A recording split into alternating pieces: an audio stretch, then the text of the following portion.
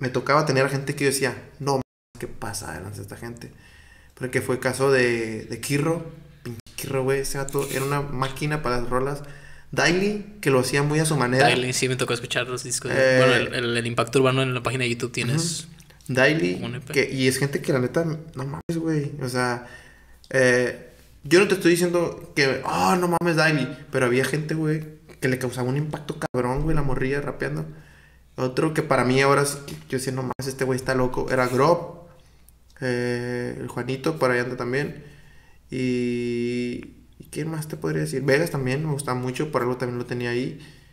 Y yo decía, no mames, estos güeyes, es cuestión de que solamente se aferran, se aferran y, y yo trataba de llegar, de, de que llegaran a otros lugares, ¿sabes? O sea, eh, güey, yo pasaba sus rolitas a gente por Sí, en grupos de WhatsApp acá, de Sí, exactamente, o sea, yo, neta, a mí siempre me gustó apoyarlos y, y no les cobran ni un peso, la neta, pero por, por cosas de que a veces simplemente no se pueden.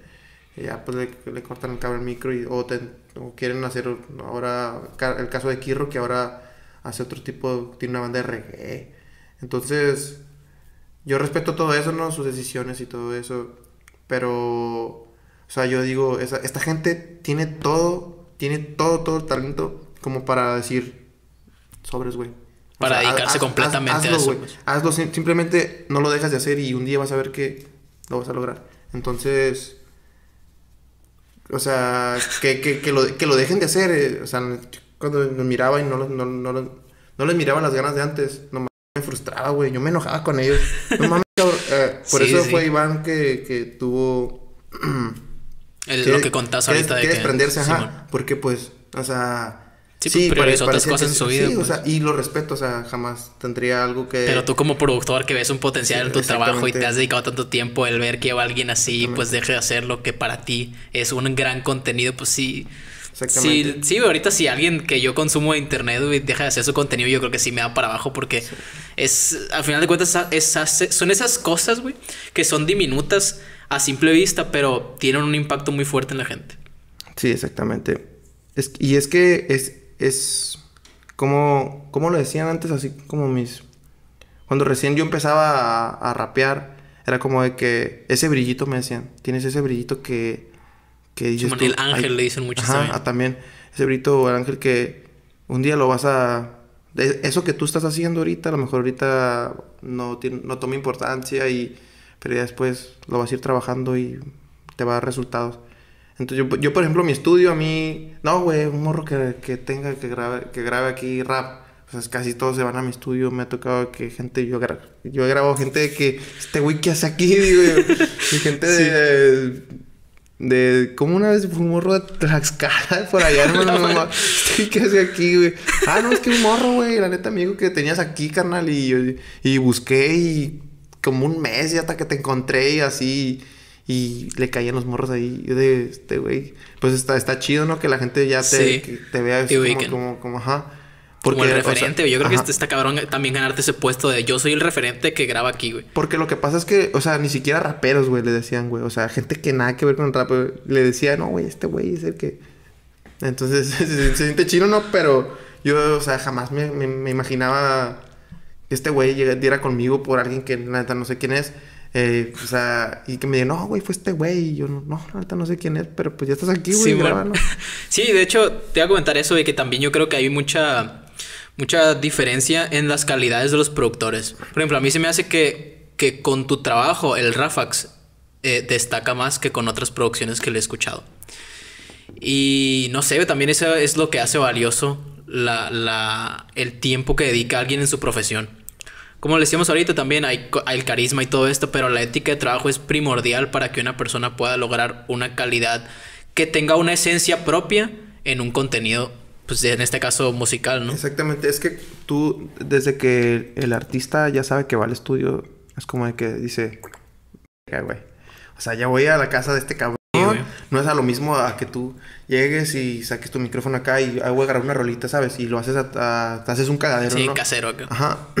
o sea, no es lo mismo. Desde ahí empieza, ¿no? Desde ahí empieza, de- ya empieza tu cabeza empieza a decir, voy al estudio. Y tú vas con esas ganas de decir, Y yo, yo siempre trato de... de Desde decirle de se- estudio, güey, yo creo que ya te mentalizas. Yo por eso cuando invito a la gente digo, ah, tengo el set ahí en la casa. No digo, ah, grabo en la sala de mi casa. Porque pues no, pierde, pierde un poquito la esencia. Sí, exactamente. Pero, por, por ejemplo, sí me ha tocado ver a eso que dices tú con Rafax o con otras personas de que en, eh, hacen sus, sus rolitas por otros lados y ellos saben que no va a ser lo mismo, pues. O sea, ellos saben, o sea, y está bien, yo no digo que no graben sus rolitas en otros lados y nada de eso, para nada. Pero ya, ya te mentalizas, ¿no? Ya sabes que, que le tienes que dar fuerte o, si, o simplemente, o sea... Aprovechar el tiempo de- del que tienen Por ahí ejemplo, para si tú sabes que tienes una rolita que dices tú, no la puedo grabar allá, güey. Sí, no, sí, no me tengo que venir para acá porque si no, allá va a valer madre. O sea, desde ahí ya sabes, o sea, ya, ya estás tomando ah, el estudio, ya lo ves de otra manera, ¿no? Entonces, para mí está bien que tú compres tu micro y, y lo trates de hacer a tu manera. Un día, va- un día vas a, vas a, va- tu, tu, eso, tu otro yo se podría decir así, le digo yo, te va a decir, oye, ¿sabes qué? Ya lo estás haciendo mejor, yo creo que hay que movernos. como Progresar. para- Como para dar el Y te ha tocado ver, por ejemplo, ver una rola que tú dices, yo lo hubiera producido mejor y hubiera dado. Es que la producción yo creo que también influye mucho en cómo estás presentando una pieza de contenido, güey. y es lo que va a determinar. Es que, es que también qué va a aquí, progresar y qué no. aquí en Mochis no hay... Mucha competencia en, en- al menos en lo que haces, ¿no? No, no, no, o sea, no es eso. Porque tú puedes ir a, estudios así profesionales y te van a meter a la cabina y, y te van a hacer tu madero, tu rola, ¿no? Por ejemplo, me tocó con una vez con Daniela Zúñiga, que fue y grabó una rolita acá tipo urbano acá. eh, y me dijo, guacha mi rolita, güey. Y yo cuando la vi no le quise decir nada, ¿no? Porque iba a sentir feo, pero... Pero me dijo, está, es un cagadero, me dijo. o sea, así como que... Y, Sí. y, o sea, se fue a un estudio profesional, o sea, donde está pasadito de lanza Sí, el, equipo, también. todo, la cabina, todo bonito, todo. Entonces, los, los ingenieros de audio ahorita no, no están acostumbrados a, a agarrar lo urbano, ¿no? Aquí nomás es tin, tin, tin, tin, corridos y, y todo eso. Eh, y ahorita, ¿sabes? Algo que a mí me sorprende. Esto de los corridos tumbados se mezcla igual que, que el rap, güey. O sea, o sea, la eh, madre. está así, güey. ¿Cómo o está sea, eso? O sea, la, la voz va muy presente. Antes, antes era diferente. La banda era un chingo de instrumentos, ¿sabes? Y, o, Sí. o- ¿cómo le dicen esto? Eh, Regional, algo así, ¿no? Sí, el regional. Ah, entonces ahorita todo eso más o menos como que se está adaptando a lo que es todo lo urbano, ¿sabes? Yo escucho y digo, ay, digo, est- esta voz se escucha como, como yo mezclo, güey, o sea, ¿qué están haciendo estos, estos Sí. vatos? Digo, pero es porque un cabrón fue el primer, o sea, ese güey fue sin miedo al éxito, ¿no? Tienes que llegar y, y hacer tu cadenita así como de que de plugins y... sí, encontrar tu propia esencia, ¿no? Hasta que entonces, este generas güey, algo es- que... Ajá, entonces este güey llegó, lo puso y, o sea, tú como ingeniero, otros ingenieros de audio tienen que adaptarse a eso porque este güey fue el primer cabrón que llegó y, y lo cambió, ¿no? Todo, todo eso, yo dije, ay, cabrón, dije, ¿cómo es posible? Por ejemplo, Nata- Natanael, ese güey llegó y, ay, ay, cabrón. Dijo, a mí me vale madre, yo quiero hacer Ajá. esto. O sea, yo no, yo no lo topo, la neta, o sea, No, ni yo. O sea, pero, o sea, sé, sé el movimiento que, que él... Por algo, lo, por algo lo ubicamos, pues. Exactamente. Porque es un referente de ese tipo de... entonces yo cambios. cuando, yo cuando, yo no solo escucho rap, o sea, yo escucho de todo. o Sí, sea, pues como productor también, de hecho te iba a preguntar eso, güey, que como productor tú tienes que estar O sea, a mí, informadísimo. a mí me ves, güey. Yo cuando estoy en el estudio, no es porque me gusten, pero yo a mí me ves. No, no, no vas a escuchar unas pinches rolitas de, de no sé, de, de un güey que te gusta un chingo, pero que tenga una pésima calidad. Porque una cosa es que te guste la letra y ese tipo de cosas, pero otra cosa es la calidad. Entonces, es muy diferente. O sea, a mí me ves escuchando, güey, así en los monitores, así como loco, casi metiéndome, güey, con errores de Ariana Grande, güey. De Sí, Lady en el Gaga. pop, lo que está Sí, pegando. todo ese, todo ese tipo de cosas. O, o hasta, hasta banda, ¿no? Ese tipo de cosas. Porque son eh, ingenieros de, de, de- Sí, de mucho calibre. de mucho calibre. Como... O sea, no, no, no, no- alguien de, de tu rango no te puede ofrecer lo mismo. Pues tienes que irte a, a, Sí, a lo claro, mejor. güey. Pues Entonces, la gente- los freestyles ven a los mejores. exactamente. Tienes que ver a los mejores para poder aspirar a tener esa grandeza. Exactamente, entonces desde ahí empieza, ¿no? O sea, yo siempre me trato de ir a lo más cabrón. O sea, Sí. en, en- en ese tipo, porque yo soy bien exigente, güey. Yo, así sea un morro que en- es su primer rolita, yo se la voy a dejar lo mejor que pueda para que quiera regresar, para que le guste, para que sea quien sea, o sea, no me Sí. importa si es si ese pinche Eminem o si sea Alguien de quien sea, ¿no? Ajá. Entonces, O el güey de Tlaxcalan. Sí, ah, no mames, güey, dejé la rola bien, bien, bien chila, güey, porque de hecho ah, me hablaba así, güey, güey, te puedo mandar mis sesiones aquí, güey, porque se fue aquí. No sé si era Tlaxcala, güey, pero neta. Sí, pero sí era de referencias. pero sí, güey. O, quién sabe, a lo mejor sí era, güey, la neta, güey. 50 y 50, la neta. Eh, porque dicen que Tlaxcala no, no, no existe. No existe. entonces. Era de Choice entonces. Eh, como te decía, eso. Yo, a mí me ves loco así escuchando de, todo, de, de todo un poco porque si llegaba gente así con su guitarrita y le grababa y todo ese tipo de cosas, jamás me, me he cerrado. Eh, y a veces ni siquiera les cobraba y lo hacía más que nada con, con el afán de aprender. Entonces, nada, o sea, creo que siempre me, me, me exijo mucho. Siempre trato de dar lo mejor cada vez que alguien... Y trato de guiarlo bien, como para que su rolita sea lo Sí. mejor que pueda. Así, sea quien sea, no me importa si me caga gordo, si me caga bien, si me... Lo que sea. Pues Neta, si, siempre... si te están pagando también, Ajá. es tu responsabilidad, pues darle la mejor Exactamente. instrucción. ¿Cómo, cómo es instruir a alguien en el estudio, por ejemplo, güey? Primero que nada que se sienta cómodo. Eso es lo más difícil. Pero Porque- alguien va con una idea ya, ya establecida.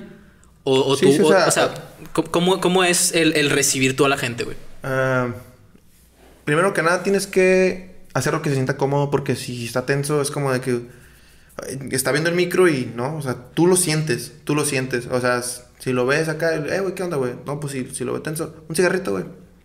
Nos vamos para afuera un ratito o lo que sea, si está... Igual que alguien lo esté viendo, yo creo me, que también me- es. Ajá, me ha tocado, yo siempre saco los plebes, siempre. cuando está alguien ahí conmigo, salte, güey. Porque si veo que no está cómodo, los, los, los- los saco del estudio. O si no, muchas veces llega, me ha tocado grabar a niños con su mamá, güey. Que, que, que vaya y está su mamá ahí, ¿sabes?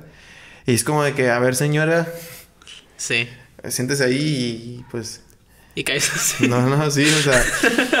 entonces, está, no, bueno, o sea, yo. que que no mames, güey, que, mi- jefa me hubiera llevado, güey, a mí grabar, o sea, que me pagara acá, güey, mis rolitas, no mames, hubiera estado súper. Sí. Súper verga. Pero pues no. Entonces, es como de que. Tienes que hacer entender a la señora y a, y a, a artista como que, o a quien sea que esté ahí, estás en un estudio y tienes que tomártelo en serio, ¿no? O sea, voy a trabajar, me, voy- me vas a pagar, entonces sí, me imagino que quieres que quede, que quede bien esto, ¿no? Entonces, eh, para, lo más importante es que se sienta bien el artista, que se sienta bien. Yo siempre les digo, antes que, que me hablen y después poner la cita, les digo, apréndete la letra, porque no vas a venir Sí, a- no es igual. no, no, para nada. Tienes que aprenderte la letra y, y, y eso es lo que te hace sentir como... O sea, ellos van con una cuando- maqueta ya, ya establecida. Así si lo traías en hojas con el celular, es como de que... Pero no con el beat. O también con el beat. mm, O traen una idea del algunas beat. veces, algunas veces, algunas veces eh, los hacía Miranda o, o yo se los mandaba a hacer así con, con Pitch Beef, que es un productor de la Ciudad de México, o yo les decía que le hablaran desde antes. Sí. Entonces ya ahí pasaban el beat y... ya Es la primera interacción que tienen con el beat ahí. No, muchas veces no. La, la, la mayoría de veces no. O sea, casi siempre ya ellos ya lo traen, ¿sabes? Sí, sí, porque es lo recomendable, ¿no? Sí. De hecho, Elemental me decía eso de que, que ellos, que él lo que hace es interpretar el beat dependiendo de, la situación, güey. Y por eso te preguntaba, pues porque si alguien llega y, él escucha el beat apenas, a lo mejor no le... No, casi no conecta igual con la idea inicial que tenía en la algunas, letra. algunas veces sí hay que cambiarlo. O sea, o, o que te digan, eh, güey, ¿sabes qué? Quiero que recortes aquí y pongas esta parte aquí del vídeo. O sea, y está bien. Y yo lo hago para que se sientan cómodos. O, o simplemente si hay una parte del beat que no les gusta, alguna melodía. O yo igual se los digo, mira, yo creo que esto aquí estaría mejor acá, ¿sabes? Porque aquí estás hablando, aquí parece coro o estribillo, o sea, eh, y le cambio, ¿no? Pero mientras estén cómodos, mientras se sepan la letra, o sea, tú vas a, vas a venir y así como lo cantaste en el baño, lo vas a cantar en el frente del micro y te va a Sí. quedar súper chido, ¿no? Entonces, eso, eso Primordial. pues, es, es lo primordial, que esté a gusto porque si lo grabas tenso, ah, pues te voy a mezclar y te voy a mandar el resultado y me vas a decir, no me gustó, güey. Pues por, por, por lo mismo, porque... No, en- yo creo que en cuanto sales, güey, te das cuenta de que, güey, no lo hice como... No, y yo también me doy cuenta, yo sé que no les va a gustar, digo, a ver, yo lo, lo- ya terminaste de grabar, sí, ven para acá, siéntate conmigo, escúchalo. ¿Te gusta todo? Porque, pues aquí, Sí. mira, yo siento que aquí no queda, entonces trato de decir, de decir, sea, como si fuera mía la rola, la neta. Entonces, sí, pues que tiene que ser así, güey. Sí, entonces, aparte también habla de mí, güey, o sea, para, porque, ah, pinche pato, güey, o sea, yo, yo siempre trato de, de que, de que la gente cuando escucha una producción tuya, por ejemplo, si tú vas y grabas conmigo, Sí, que ubique y- que es ajá, producción y tuya. que la gente eh, vea, güey, no, este güey te produció así. O, o, o, o, porque, o si no les gusta algo así que te sales del video algo. O sea, también es responsabilidad mía por no decirte, ¿no? Entonces yo trato de decirle lo, lo mejor que... Lo mejor que quede la rola, ahí voy a estar yo chingándoles. No, güey, hay que volverla a grabar.